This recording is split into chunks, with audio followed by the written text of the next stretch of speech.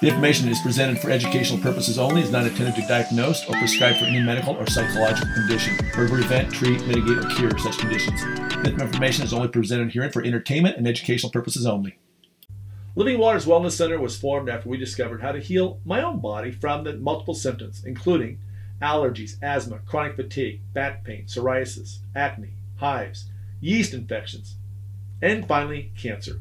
After 20 years of trying numerous different treatments, everything from medical to cleanses, iridology, muscle therapy, acupuncture, acupressure, homeopathy, naturopathy. These experiences led us to discover the recipe that became known as the Four Natural Laws of Healing, combining multiple natural healing modalities to fully detox, cleanse the body, and then allowing the body to take the perfect nutrition to fully restore the body back to its innate health. This became known as the 10 day healing retreat. We have helped thousands of people just like you get their health restored so they can live their life to the fullest extent. Good morning, everyone. David DeHaas from Living Waters Wellness Center, and your host of the Whole Body Detox Show. Welcome to this week's version of our show. By the way, if you're here for the first time and you miss any parts of this show, don't fear. We've got a great place. You can go catch anything you missed. If you say, hey, what did he just say? Go to wholebodydetoxshow.com or wherever you get your podcasts and just type in whole body detox show. Will pop up and you can listen to any of our 75 episodes that we put up there so far especially this one as well. They usually go up after the show airs so it's where you can get your information if you're missing part of the show. Living waters wellness center was founded in 2009 for the very specific reason of doing a 10-day healing retreat. I got to tell you we just got done doing a 10-day healing retreat. And the reason why we formed this whole uh, uh, business was we had such great success in our own family with healing our bodies. Not only mine, but my father in law, who was given a diagnosis of living just four more months, lived another 12 years. My dad was given prostate cancer, was told he had two years maybe at best. His PSA number was 38. They said, well, best case, you can probably get it down to seven or eight, but it's going to come back in two years no matter what treatments we do. My dad began to cleanse that very day. And within about six or seven days, I know by the end of the cleanse, his PSA numbers were down to zero. Zero. 0.00347 to be exact. And it's been that way for 13 years. My dad's 89 years of age. Still got his health, can still function and get around on his ranch. And you know, isn't that the beauty of having life, is being able to live your best life, living as well as you can for as long as you can, not just living long, but living well. You know, the goal here is to have as much fun, see the things, do the things you want to do, and, and uh, while you're here on earth. And so that's what we bring you Living Waters. We bring you the tools to detoxify and cleanse your body. Because once you do that, you follow the four natural laws of healing, you're going to get well. You can't help but get well. Oh my gosh, just this week alone, we had, had a gal was going through chemo and she said, Man, I have no brain. I can't remember anything. And she was thinking about just completely shutting down her practice. And she's a she's a doctor. And uh, she told me on about day 10 or 11, she says, You know what? I'm going to get some more clients. Kudos to her and uh, she'll continue to get better and better as she goes on this journey. And uh, the change in the color of their face. Another guy, when I first met him, he shuffled and hobbled in with a cane and really hard to get out of a chair. And I got to tell you, on day five, I joked with him. I said, "Slow down, partner. We have to get you some track shoes. You're going so fast." And we haven't seen the cane since I think day two. In fact, I asked him the day, I said, "Where's your cane?" He says, "Oh, I think it's in the car. haven't used it for a while." Those are the kinds of things that happen when you get your body clean and healed. And, you know, the reality is we're in a very toxic soup bucket.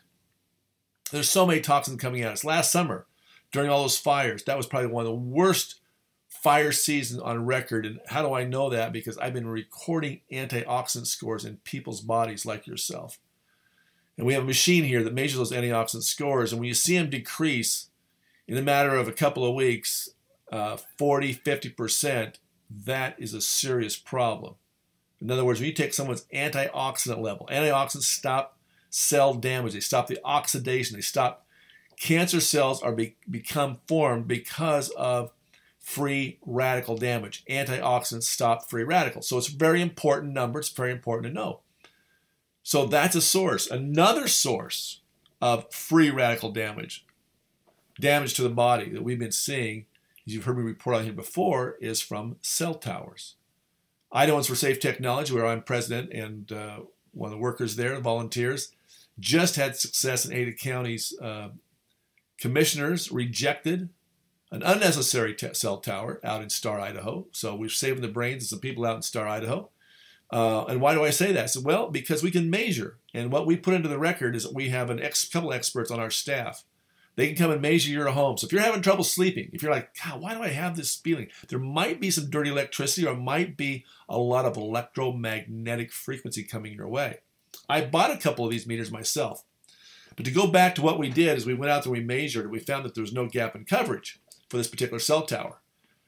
And because there's no gap in coverage, there's no need. When there's no need, there's no need for a tower.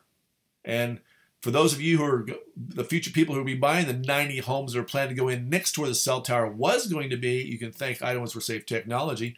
Go over there and give us a donation to help support our legal fund at idahoansforsafetechnology.org. But I've been, as I've been consulting with people, as I get this meter out, people come up to me. I come in sometimes. They've got earbuds in those those Bluetooth earbuds, uh, or they've got they're wearing their phone on them, or they are, uh, you know, packing it in their pocket. They're packing it. Maybe women sometimes put it in their uh, bra strap. Super dangerous. And I'm gonna. I can't show you the the visual, but I can tell you you've got so many things around you. Bluetooth. You've got these wireless mouse for your computer.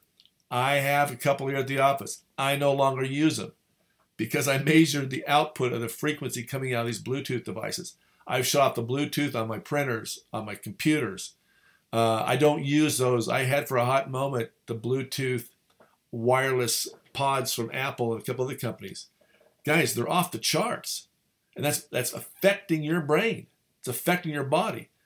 Uh, you heard me when uh, on our episode with the Dr. Martin Pall. He was talking about why there's so much infertility. Well, guys, we know studies show that if you're packing your cell phone in your pocket, you're damaging your sperm. Women, you're damaging your eggs these things are absolutely off the charts. And so I had a couple, another thing, I had a couple come in here with their kids, and I said, let me just show you something, because every kid had a phone, a smartphone, and they're watching whatever they're watching, right? They're holding it up close to their face. I think that's going to change in that family, because here's what I'm going to, I'm turn on this meter. Now I'm going to turn my, I'm going to have my phone completely off, and uh, I'm going to turn this meter on, and hopefully you can be able to hear this. Okay, now, right now, it's very slight, uh, slight to moderate. I turn this phone on, and when it pulses, uh, you can't see this, but it just went up from a magnitude of very small to horrendously a, a, lot of power. I mean, absolutely insanity. You couple that around you with Wi-Fi in your buildings, your Bluetooth mouses. I'm gonna turn that off now. Um, but I turn off this phone and it calms right back down. So, what is David doing? We know we have our phones. We've got to, we got to use them. Some of you guys got to use them more than others. Uh, but I tell you, when I'm not using my first of all, my phone on my desk is away from me. Okay, it's not close to me. Uh, when I'm traveling uh, with my phone, uh, when I put it in my pocket, I turn it off.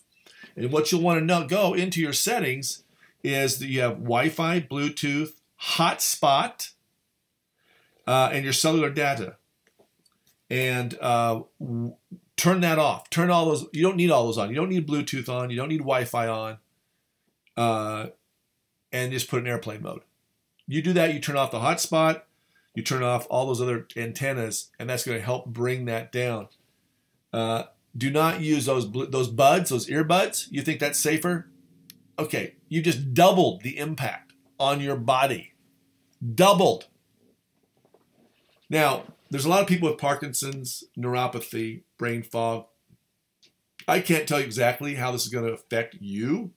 I don't know how long it'll take to affect you. We know Hank, who's on our board, has been AFib 18 times, had a $150,000 heart ablation surgery because of a tower uh, about 2,000 feet from his home. I mean, it's close, but it's, it's, it's a bit away.